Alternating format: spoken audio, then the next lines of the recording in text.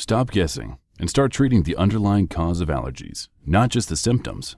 Did you know 58% of patients suffering from allergies visit their primary care provider first? 54.6% of Americans are allergic to at least two allergens. The supply for allergists are expected to decline, while the demand for allergists will increase by 35%. Allergy assessments and sublingual allergy drop therapy are available to adults and children of all ages and replace traditional allergy shots in the form of drops given under the tongue. Sublingual immunotherapy treatment, also known as SLIT, yields better results plus builds immunity, helping your patient's allergies disappear.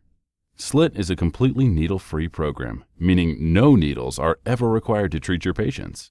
The treatment can be given in the convenience of the patient's home. It's safe, effective, and long-lasting.